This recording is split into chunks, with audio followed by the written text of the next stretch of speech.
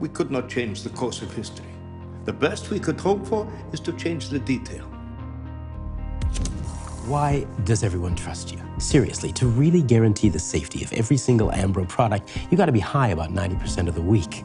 Today, Ambro products are legal, they are affordable, and they are safe.